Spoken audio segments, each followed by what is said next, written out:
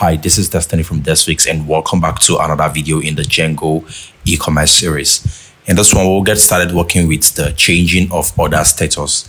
That is what we'll be doing. Hopefully you will enjoy the video and learn something new. So let's get started. Begin by opening up your code editor. And right now I want to open up the user admin views PY.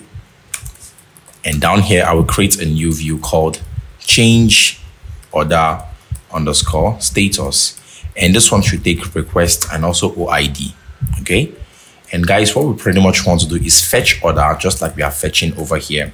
So you could pretty much do the same thing down here. Okay. And what we want to check is if request dot method is equal to post. So if request dot method is post, then let's say status should be equal to request dot post dot get so we want to grab the status that the user have changed to. Let me show you. So you can see this over here. When user click on processing and hit this button save, this code here, we grab that keyword called processing. And after the keyword has been grabbed, what we pretty much want to say is order dot product status order dot product status should be equal to that new status that was selected. Then let's save and then let's send a message. So messages messages dot success and I'll pass in request in there. Request and then passing our message. I'll say order status changed to and let's pass in status. Order status changed to status. For that variable to work, this needs to be an F formatted string. And we also need to import from Django dot contrib import messages. So for this variable that we added here, this variable that we added here in this braces, for it to actually work, this needs to be an F formatted string so that you can call variables in here alongside strings. Okay. And messages success pass on request, then call other other status changed to this status. And if everything goes well, let's return return redirect to um, let's go to the user admin and where do we exactly want to go to order underscore detail and order dot id perfect. So now i want you to open up the urls py open up URLs py for user admin and, and let's register this. So this will be change order status. Do the same thing here. There you go. Change order status takes OID. Does that make sense? Let it take ID, right? You can still make it take OID. This one is totally up to you what's what you want to use. If you understand how this logic works, you could even make it take the full name instead instead of the OID. Okay. The thing is just to understand how it works. So after registering this now, I will take the change order status, open up the order detail HTML and locate where we have that um, status here. We just have the select showing up over here. So we need to change up a couple of things for it.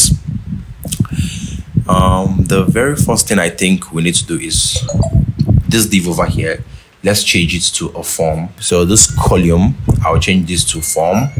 I'll add this a method of post and i'll give it an action. So action should be url user admin user admin change order status and order.oid remember that's what it is.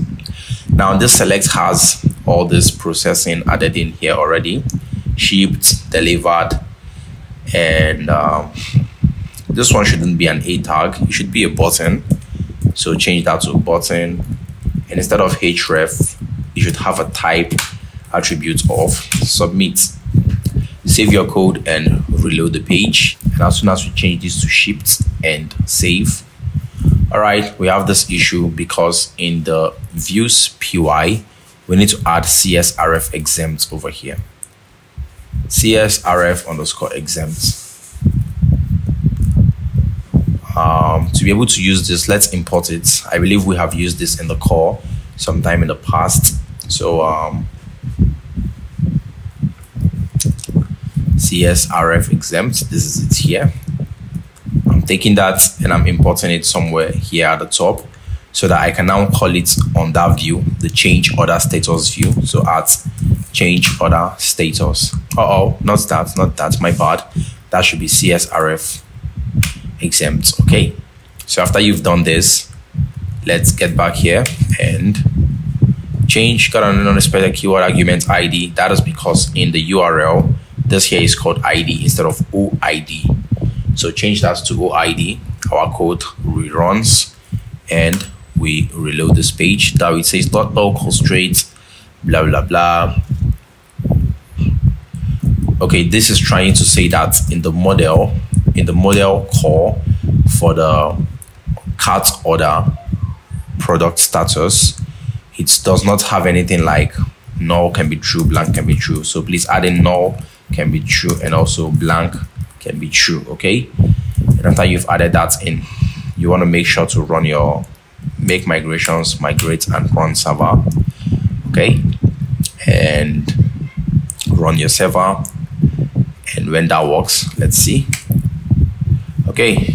Now let's try changing this again. Okay, so now let's try changing this again. I will change this to shipped and save. Okay, it still shows order status as none the question now is, is it actually fetching that status? This status here, is it actually getting it? So that is the question that we should actually ask. And to know that, I will print status to see what we are getting. So status and also status status over here. And now let's run this again. Save. Let's see. Does it print status? See, status is coming back It's coming in as none, which really does not make sense, which means it's not going to work as expected. So let's take a close look at our code one more time. Does the select tag has a name of status? That is another question we need to ask. And of course it doesn't. So give it a name of status. This name of status is what we'll use to grab each and every one of those value here. And that is pretty much what we held onto over here. Okay. So now I'll reload the page and I'll try changing this to something else like shipped. And now can you see shipped? So see other status changed to shipped. All good. Delivered. When you've delivered the order, you can now see order status changed to delivered. All good, all good. That is pretty much it. Everything is looking good and perfect as expected.